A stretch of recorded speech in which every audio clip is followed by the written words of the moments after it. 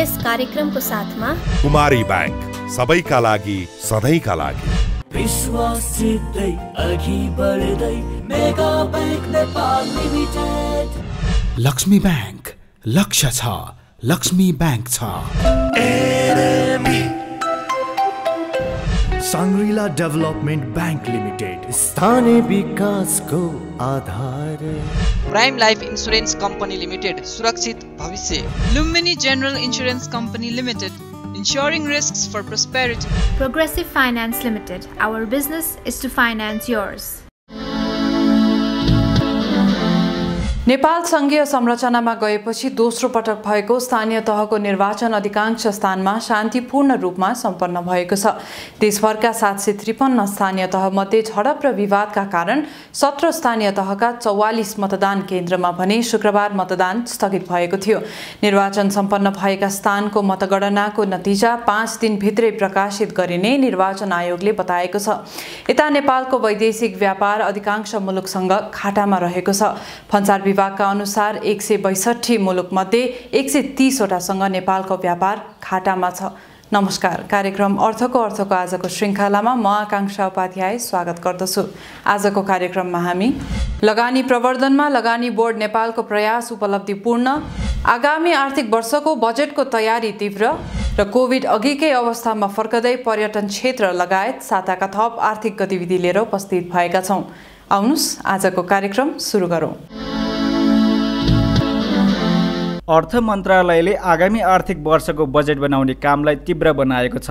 राष्ट्रिय योजना आयोगले दिएको सत्र खर्ब पैँतालिस अर्बको सिलिङलाई आधार मानेर मन्त्रालयले बजेट बनाउँदैछ। मुख्यत कृषि र औद्योगिक उत्पादन वृद्धिमा सघाउने बजेट निर्माण भइरहेको मन्त्रालय स्रोतको भनाइ छ। यद्यपि गठबन्धनको सरकार भएकाले केही लोकप्रिय कार्यक्रम समेत समेटिनेछ यसले बजेटको आकार स्वाभाविक रूपमा बढ्ने देखिएको छ।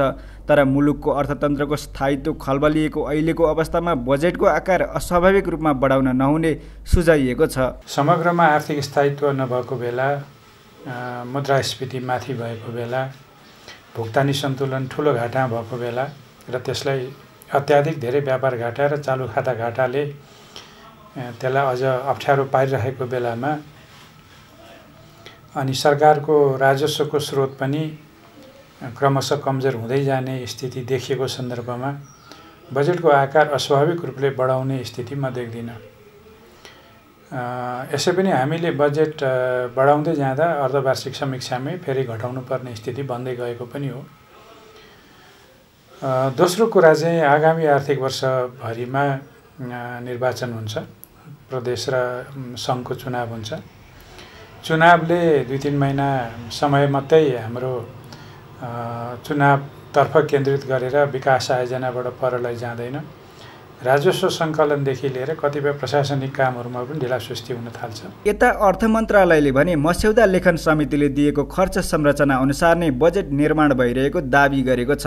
यही जेठ पन्ध्र गते ल्याइने बजेटका लागि मन्त्रालयले विभिन्न सरकारवाला निकायहरूसँगको सुझाव सङ्कलनलाई समेत जारी राखेको छ। बजेटबारे आम नागरिक र सरकारवालाको चासो बढ्दै गर्दा वस्तुत आम नागरिक उद्योगी व्यवसायी दात्री निकाय लगायत सबै सरकारवालाको चासोलाई दृष्टिगत गर्दै मध्यमार्गी बजेट ल्याउनु पर्नेमा जोड दिइएको छ।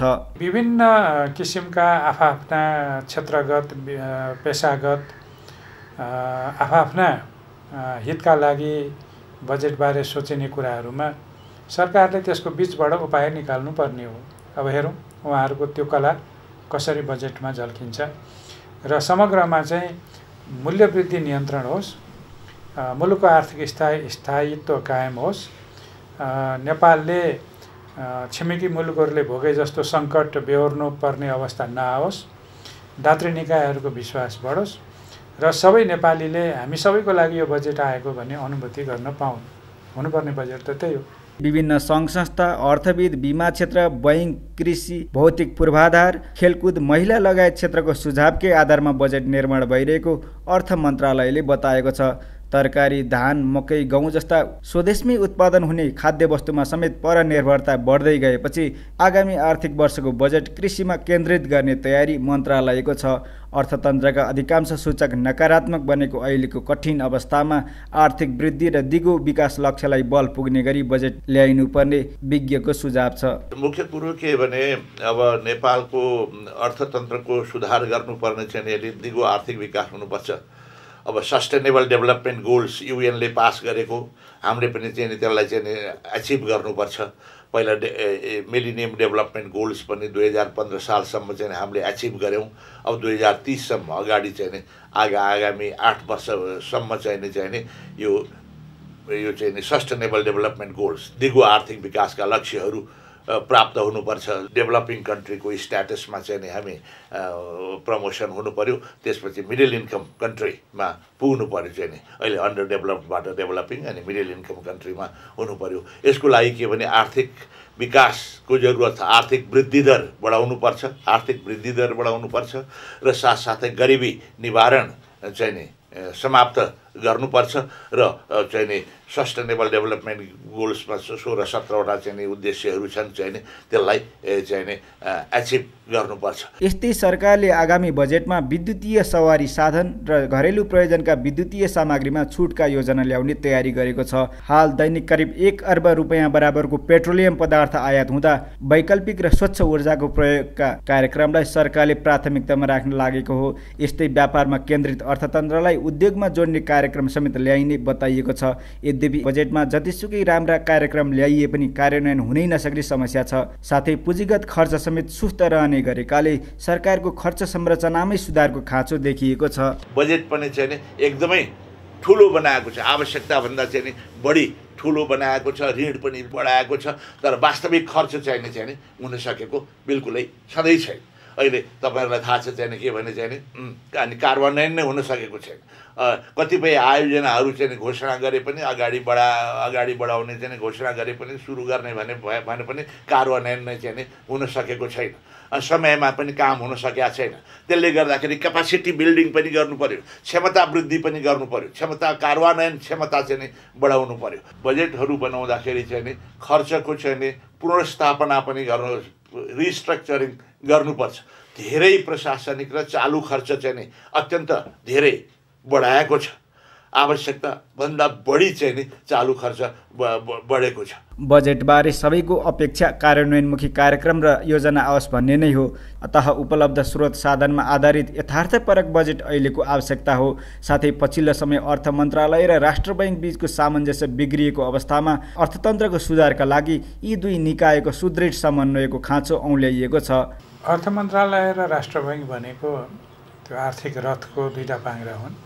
त्यो सँगसँगै हिँड्नुपर्छ केन्द्रीय ब्याङ्क र केन्द्रीय ब्याङ्कको गभर्नर र अर्थमन्त्रीको धेरै विश्वका धेरै मुलुकमा समान हैसियत हुन्छ। त्यो हैसियतलाई स्वीकार्न पनि अर्थ मन्त्रालय तयार हुनु पर्यो र आफ्नो स्वायत्त हैसियतलाई जिम्मेवारीपूर्वक निर्वाह गर्न सक्ने क्षमता विवेकशीलता प्रदर्शित गर्न केन्द्रीय ब्याङ्कले पनि तयार हुनु पर्यो त्यसो हो भने अर्थतन्त्रको बृहत्तर हितको लागि त दुईजना नमिलेर दुईवटाको निकायहरूको नीति नमिलेर कुनै विकल्प नै छैन। मूलत के हो भने अहिले सरकारको वित्त नीति बजेट नीति पनि र मौद्रिक नीति पनि खुकुलो हुने उदार हुने लोकप्रियवादी हुने ठाउँ छैन। एक सय रुपियाँले कर्जा बढ्यो भने असी रुपियाँले विदेशी मुद्रा सञ्चित घट्छ भने अध्ययनहरूले नै देखाइरहेकै छन्। त्यसो हो भने हामी कति मात्रै कर्जा बढाएर कति मात्रै आयात गर्ने कति आयात गर्दा कति मात्रै राजस्व आउँछ त्यति मात्रै अनुमान गर्ने त्यति राजस्व र कमिटेड अथवा प्रतिबद्ध विदेशी सहायताले कत्रो बजेट भन्छ त्यत्रै बजेट बनाउने। चालु आर्थिक वर्षका लागि सरकारले सोह्र खर्ब बत्तिस अर्ब रुपियाँको बजेट ल्याएको थियो जसमध्ये चालुतर्फ दस खर्ब पैँसठी अर्ब पुँजीगततर्फ तिन खर्ब अठहत्तर अर्ब र वित्तीय व्यवस्थापनतर्फ एक खर्ब उनानब्बे अर्ब विनियोजन गरिएको थियो। भर्खरै प्रस्तुत गर्यौँ बजेट सम्बन्धी सामग्री अबको पालो ब्रेक।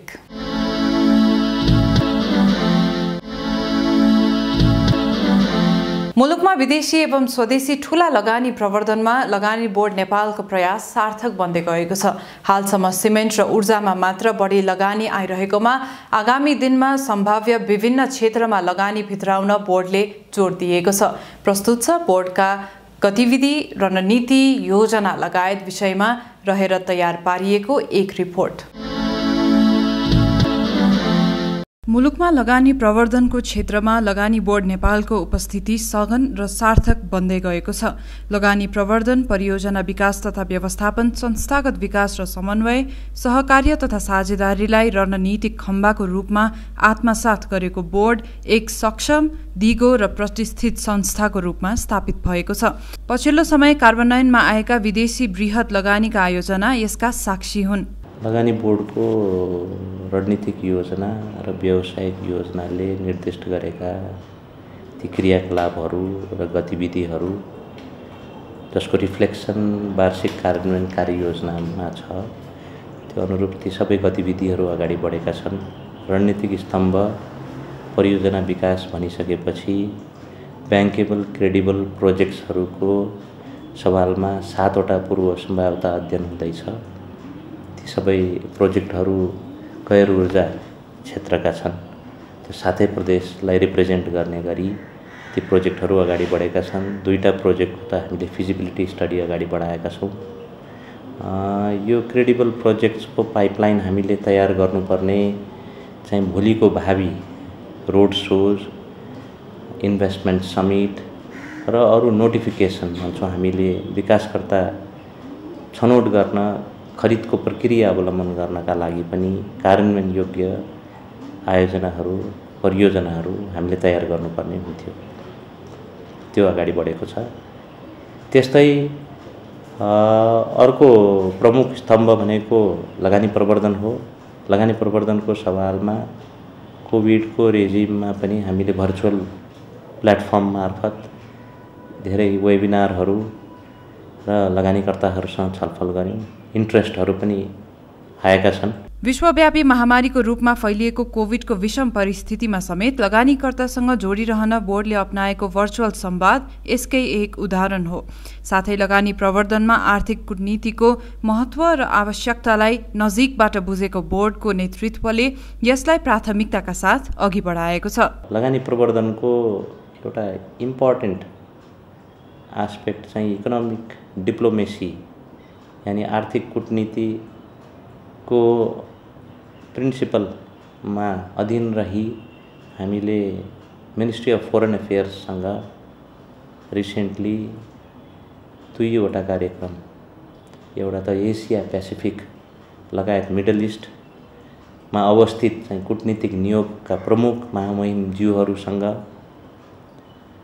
हामीले एउटा अभिमुखीकरण कार्यक्रम र लगानी प्रवर्धनलाई पनि इकोनोमिक डिप्लोमेसीको इम्पोर्टेन्ट पिलार आत्मसात गरेर हामीले इन्भेस्टमेन्ट प्रमोसनको एक्टिभिटिजलाई अगाडि बढाउनुपर्छ भन्ने सवालमा एउटा बुझाइमा एकरूपता पनि कायम गऱ्यौँ र त्यस्तै अर्को दिन युरोप र एसी अमेरिकाका चाहिँ कुटनीतिक नियोगहरू हाम्रा चाहिँ इस्टाब्लिसमेन्टहरू सँग पनि राम्रो छलफल भयो।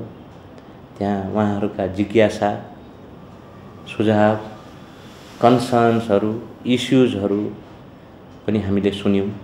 जिज्ञासाहरू सम्बोधन गरियो र एउटा खालको अन्डरस्ट्यान्डिङ कोअर्डिनेसन फ्रेमवर्क एउटा खालको समन्वयनको ढाँचा के हुन्छ फलोअप मेकानिजम के हुन्छ र यो लगानी प्रवर्धनको ले निर्दिष्ट गरेका ती गतिविधिहरू हामीले कन्टिन्युस मोडमा डे टु डे एक्टिभिटिजको रूपमा कसरी बनाउन सक्छौँ भन्ने सवालमा पनि हामीले त्यहाँ छलफल गऱ्यौँ।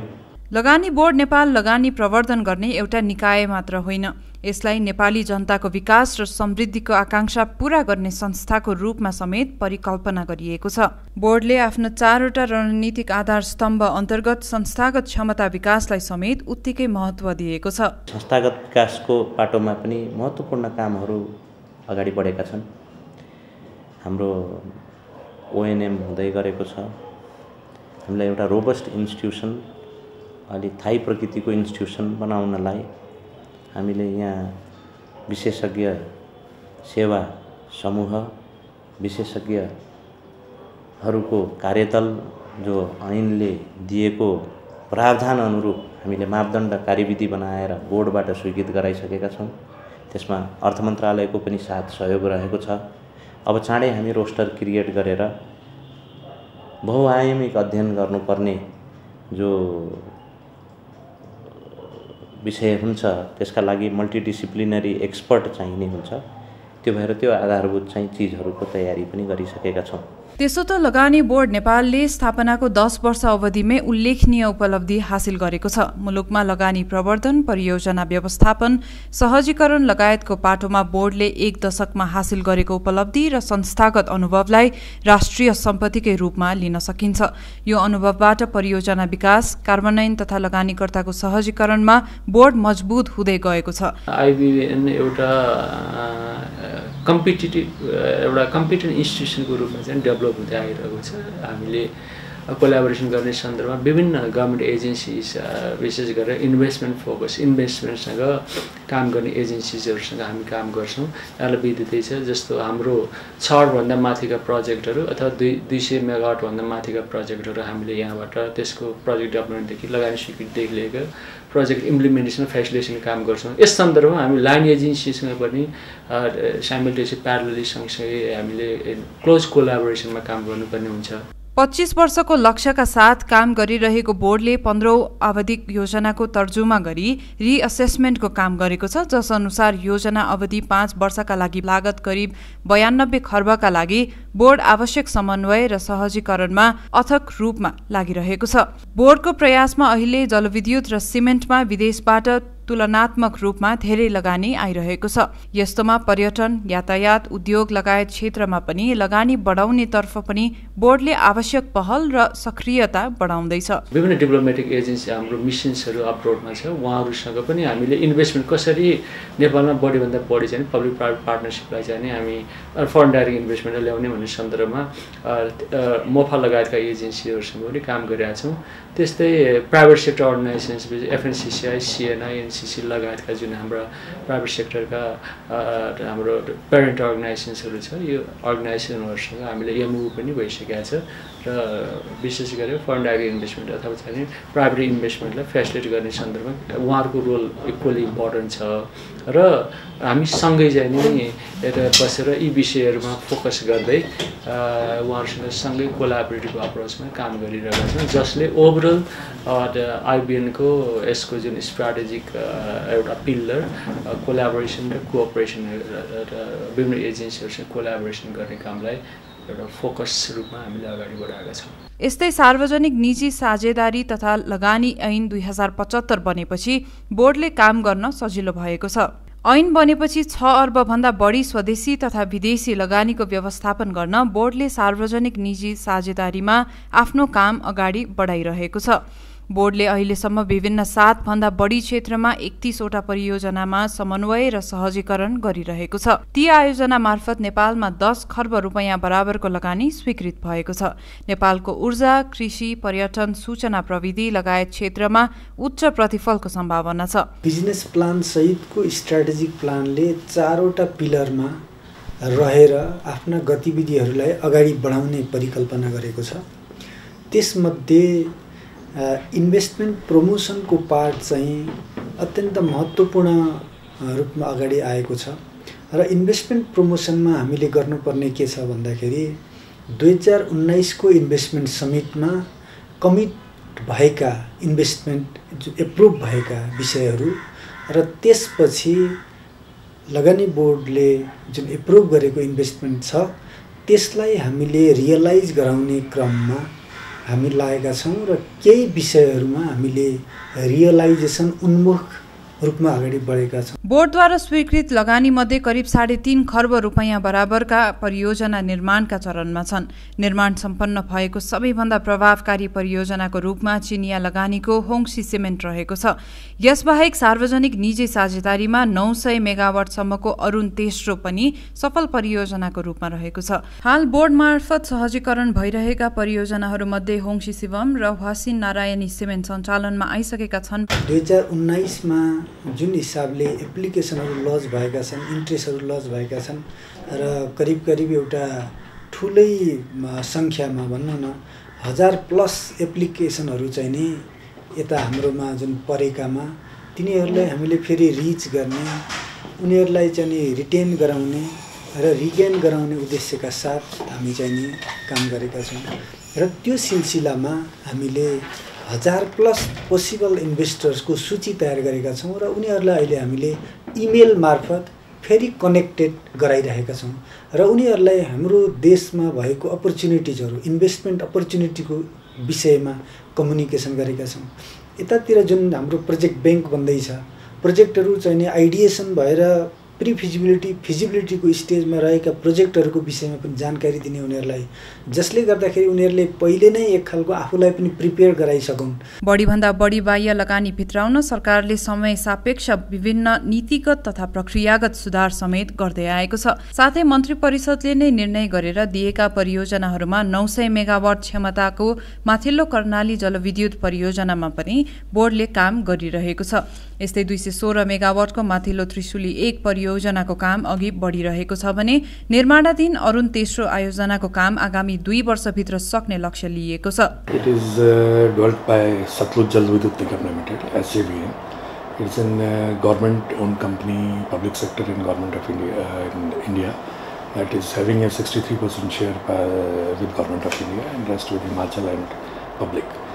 So Arun 3 was awarded to us uh, through uh, bidding process, open bidding process, and then we started the work in 2019, 18 uh, for the work, and uh, our uh, agreement with government of Nepal is to give project in February 25. हालको व्यवस्था अनुसार छ अर्ब रुपियाँभन्दा बढी लगानी भएका आयोजनाको लगानी बोर्डको क्षेत्र अधिकारमा पर्छ। यस्तै गरी बोर्डले आगामी पाँच वर्षमा दस अर्ब अमेरिकी डलर बराबरको विदेशी लगानी स्वीकृत गर्ने लक्ष्यसहित आफ्नो भावी योजना तयार पारेको छ। यसका लागि बोर्डले केही महिना अघि नै आफ्नो पाँच वर्षे व्यावसायिक योजना दुई हजार अठहत्तर दुई हजार बयासी सार्वजनिक गरिसकेको छ। सो अवधिमा छ अर्ब अमेरिकी डलर बराबरको सार्वजनिक निजी साझेदारीका परियोजनाको व्यवस्थापन गर्ने र कम्तीमा एक लाख रोजगारी सृजना गर्न सहयोग पुर्याउने लक्ष्य लिइएको छ। बिजनेस राउन्डअप अघि छोटो ब्रेक।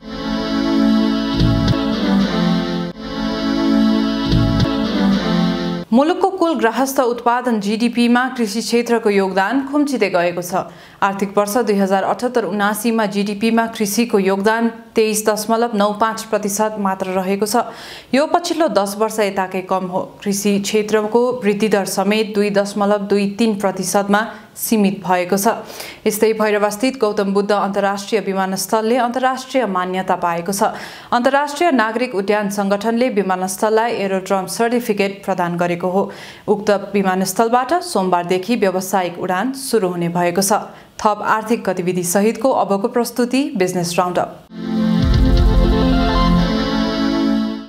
कोरोना महामारीले दुई वर्षसम्म थलिएको नेपालको पर्यटन क्षेत्र पुरानै लयमा फर्किने सङ्केत देखिएको छ। गत मार्चमा हवाई मार्गबाट बयालिस हजार पर्यटक नेपाल आएकोमा अप्रेलमा अन्ठानब्बे हजार तिन सय अडचालिसजना आएको सरकारी तथ्याङ्क छ। यो सङ्ख्या सन् दुई हजार एक्काइसको सोही महिनाको तुलनामा एक सय साठी प्रतिशतले बढी हो। यसबाट पर्यटन व्यवसायी उत्साहित छन्। आगामी दिनमा यसलाई थप प्रबन्धन गर्न निजी क्षेत्रबाट विभिन्न प्रयास भइरहेको र यसमा सरकारको समेत सक्रिय पहलको अपेक्षा गरिएको छ। दुई हजार उनासी साल सुरु भएपछि एउटा उत्साह थपेको छ। अब यो उत्साहलाई चाहिँ कायम गर्नलाई यसलाई बढाउँदै लान चाहिँ हामीले हामी एकदमै प्रयासरत छौँ। अब हामीले अगाडि बढ्दाखेरि हामी कस्तो नीति लिन्छौँ कसरी प्र कुन प्रक्रियामा जान्छौँ के राष्ट्रिय नीति के हुन्छ भन्ने कुरा एकदम महत्त्व राख्दछ। त्यसमा हामी सबै नै लागिरहेछौँ। अब हालसालै अब नेपाल सरकारले गठन गरेको यो पर्यटन पुनरुत्थान समितिले पनि आफ्नो प्रतिवेदन सरकारले पेस गरेका छ। त्यसमा भएका कुराहरू त्यहाँ गरेको सिफारिसहरू त्यसमा हामीले पनि हाम्रो कति कुराहरू राखेका छौँ। सन् दुई हजार बाइसको सुरुवातसँगै कोभिड महामारी कम हुँदै गएपछि विदेशी पर्यटकको आगमन बढ्दै गएको हो। पर्यटन क्षेत्रलाई दिगो रूपमा चलायमान बनाउन आगामी बजेट मार्फत नीतिगत व्यवस्था नै गरिनुपर्नेमा जोड दिइएको छ। अब आउनेवाला जुन बजेट छ जेठ पन्ध्र गतिको बजेटमा समावेश भएर हामी अगाडि बढेको खण्डमा हामी अहिलेको जुन सुरुवाती उत्साह जुन छ नि हाम्रो त्यसलाई चाहिँ लामो समयलाई हामी कन्टिन्यू गर्न सक्छौँ। त्यसमा नै हामी प्रयासरत छौँ। अब अहिले के देखिया छ भन्दाखेरि अब हामीले नेपालमा काम गर्ने तौर तरिका पनि जब काम परेपछि हामी सबैजना तात्छौँ होइन?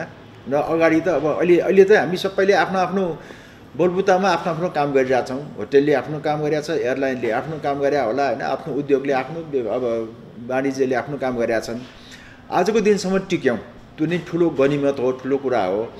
यसलाई अझ हामी सङ्गठित भएर अझ समन्वय बढाएर एउटा राष्ट्रिय स्तरमा हामीले अब एउटा कसिएर काम गर्दाखेरि चाहिँ आजको दिनभन्दा पक्कै पनि हामी राम्रो रिजल्ट ल्याउँछौँ सुखद हुन्छ।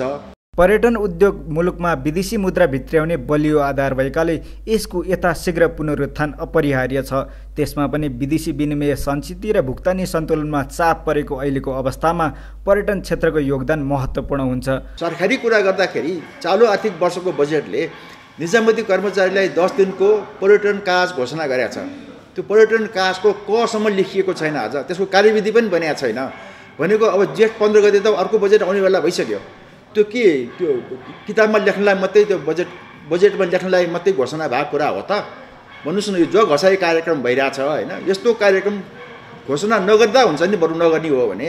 अहिले हिमाल आरोहणका लागि वसन्तकालीन सिजन भएकाले पनि पर्यटक आगमन बढेको हो। पर्यटक आगमन बढ्दा विशेष गरी होटल ट्रेकिङ लगायत व्यवसाय चलायमान बनेका छन्। श्री लुन करन्दास गङ्गादेवी चौधरी साहित्य कला मन्दिरले नेपाली कला साहित्यका तीनजनालाई सम्मान गरेको छ। काठमाडौँमा गत मङ्गलबार आयोजित कार्यक्रममा मन्दिरले इतिहास प्राध्यापक डाक्टर त्रिरत्न मानन्दर तेजेश्वर बाबु गोङ्ग र नुछे बहादुर डङ्गोलाई सम्मान गरेको हो।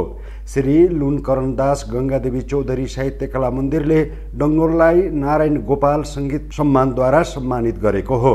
त्यस्तै सरस्वती सम्मानद्वारा गङ्ग र इतिहास शिरोमणि बाबुराम आचार्य शोध सम्मानद्वारा डाक्टर मानन्दर सम्मानित भएका हुन्। यसैबीच कार्यक्रममा वसन्त चौधरी फाउन्डेसनद्वारा प्रकाशित मैले बुझेको दुनियाँ नामक पुस्तक विमोचन भएको छ। चिकित्सक डाक्टर अस्मिता अर्यालद्वारा लिखित पुस्तकमा विभिन्न शीर्षकका एक्काइसवटा निबन्ध सङ्ग्रहित छ। यी थिए आजका प्रस्तुतिहरू थप आर्थिक गतिविधिका लागि हाम्रो official website W W W dot अर्थको अर्थ डट कम लगन गर्न सक्नुहुनेछ। आजको निर्धारित समय सकिएको छ। म लगायत सम्पूर्ण युनिटलाई बिदा दिनुहोस्। नमस्कार। यस कार्यक्रमको साथमा कुमारी ब्याङ्क सबैका लागि सधैँका लागि। विश्वास जित्दै अघि बढ्दै mega bank Nepal limited. Laxmi bank लक्ष्य छ। लक्ष्मी ब्याङ्क छ साङ्ग्रिला डेभलपमेन्ट ब्याङ्क लिमिटेड स्थानीय विकासको आधार Prime Life Insurance Company Limited सुरक्षित भविष्य Lumbini General Insurance Company Limited ensuring risks for prosperity. Progressive Finance Limited. Our business is to finance yours.